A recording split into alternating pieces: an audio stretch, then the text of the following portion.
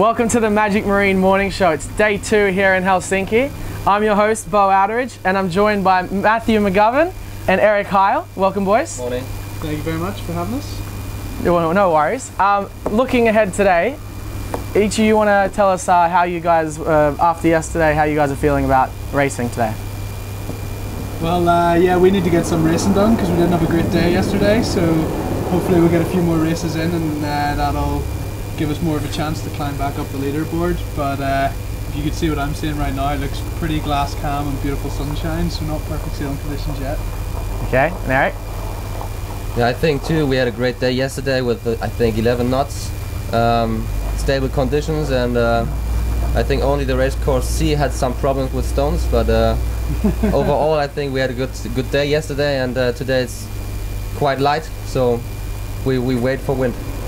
Okay, and Matt, did you did you see anyone hit the crash into the ground? No, lucky enough, uh, Erik and I we were both on the two two courses without any rocks. Um, so yeah, we avoided that. I just don't want to be on that far away course at all this week, hopefully. Yeah, okay. all right, well, um, in light conditions, how hard does the crew and skipper work compared to the windier conditions? Do, um, Erik, maybe you can answer that. How Do you work a lot harder in the lighter or windier? What do you think? I think it's quite the same, but um, it's a bit harder for the helmsman in comparison to the to the crew. The crew has has it a bit light, uh, easier, I think, in lighter winds. Yeah, for sure. And uh, for the helmsman, it's the same. Okay. Well, we have uh, we've seen we've seen how hard online um, your crew is. er, Um, Tommy, he's put together a nice nice video comparing how hard the crews work, and maybe Matt, after this, you can back us all up.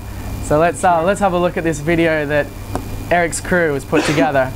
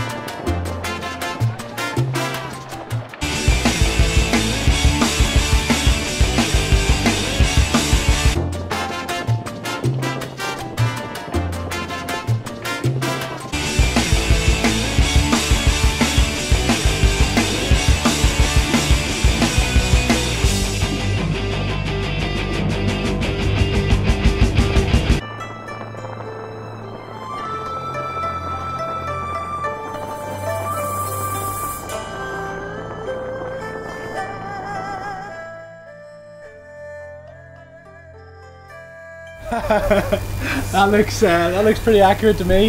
In fact, I'm surprised the helm's even doing that much heart rate, to be honest. But yeah, I think it's just one of those things, especially when the wind's up. It's all the crew is just yeah, yeah. crazy for it.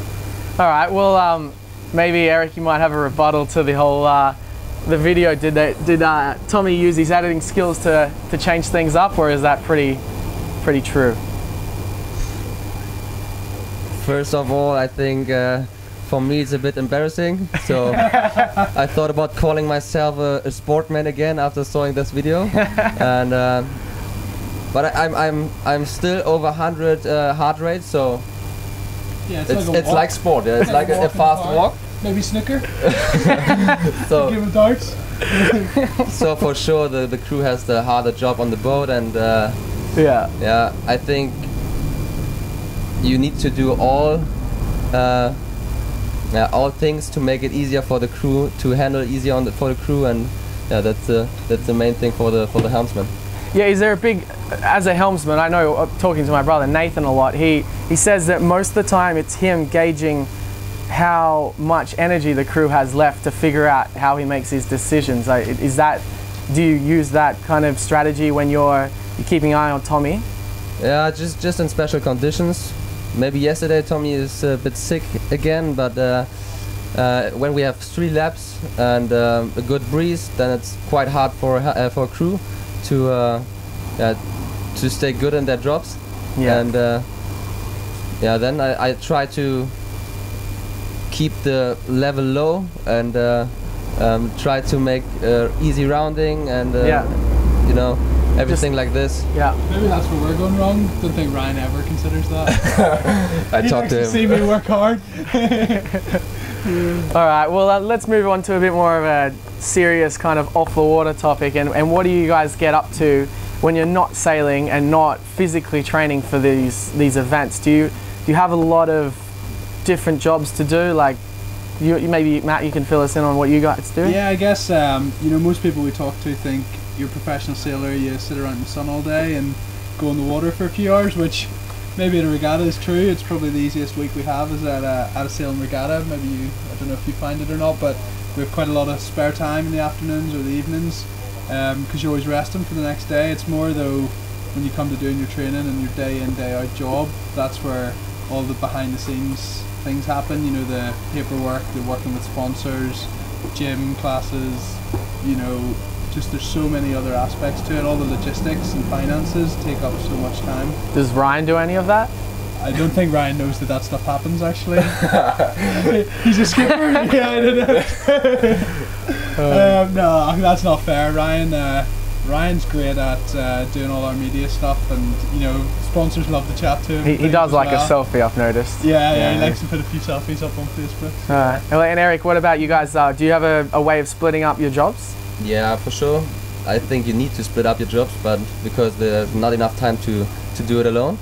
Um, it's quite the same like like um, Matt Matt is doing and split split the jobs. Um, Thomas is doing logistics and, and financials, and I'm doing uh, communication to sponsors and also most of the time communica- communication in the social media stuff. So uh, Yeah. yeah, that's the way, that's the way we do it. Cool. All right. Well, we have um, we've seen. Let's let's discuss the effects of the effects. Since the introduction of the girls' class, um, we've we've noticed there's been a trending um, a trend sweeping the the boat park at the moment, and maybe you guys could could shed a little light on what happens around here. Um, well, uh, I guess there's a couple of things have changed now. Having maybe like a hundred girls at tops walking around the dinghy park has certainly changed some of the guys' attitudes about the place. Yeah. Um, yeah, there's a lot more naked bodies on show. Uh, probably one of those mating calls trying to attract the females, I'd say. I think we've also got some manners seem to have evolved in the 49er class as well. Some manners, yeah. Yeah, yeah. Guys love to help girls with the trolleys and uh, you know stuff like where you go to the bathroom. It doesn't happen right at the boat anymore. I don't know who does that. That's a pretty. I'm guilty of that. Yeah. Okay, well now you've shamed yourself. Let's let's cross to some evidence we've got um, of of this activity.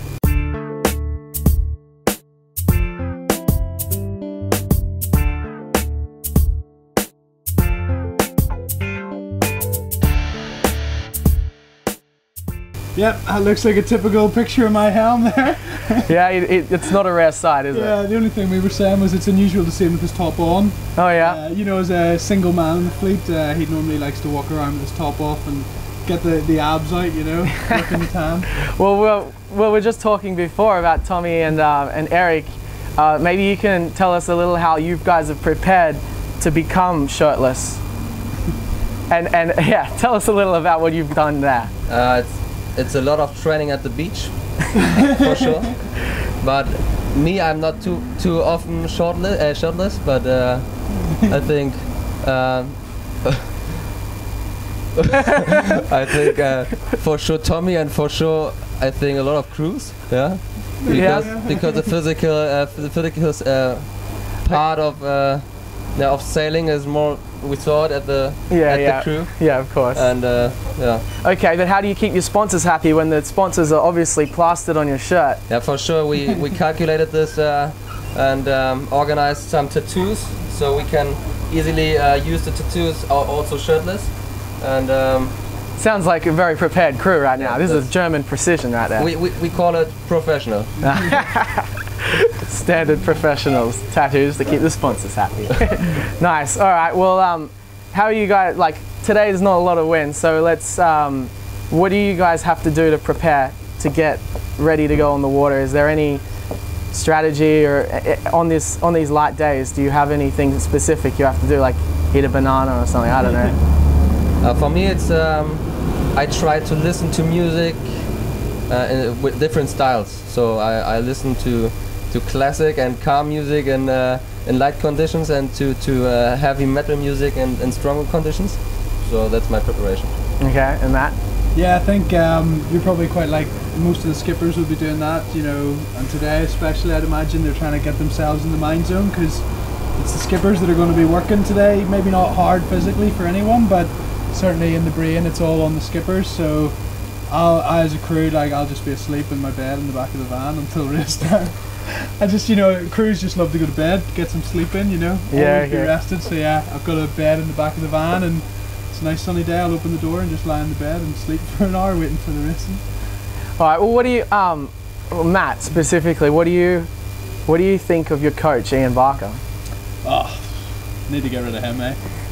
No, um, Ian's great. I mean, obviously he's got himself an Olympic medal from the 49ers, so everything he says has a bit more power to it, and we like to take it all on board. Um, I do believe you've got him and a couple of other coaches on tomorrow morning. Is yeah, that right? yeah, We've got Emmett and we've got Ivan and uh, and we've also got Marcus Spillane. Probably wouldn't bother tuning in for that unless you like to listen to people talk about what they eat. It'll be a 15 minute segment on coaches, you know. oh yeah, I had three sandwiches today and a packet of crisps and I'm really tired from being in the water, you know. That's pretty much what we get from our coach. oh god. Okay, well that's all we've got time for today. Um, thanks for tuning in. We'll um, we'll be back tomorrow, like we were just talking. We'll have the coaches on, and we'll be talking all different things, mostly about Rio and the new ISAF Sailing World Cup format. So thanks again for tuning in. I'm Beau Outteridge, and we'll see you tomorrow.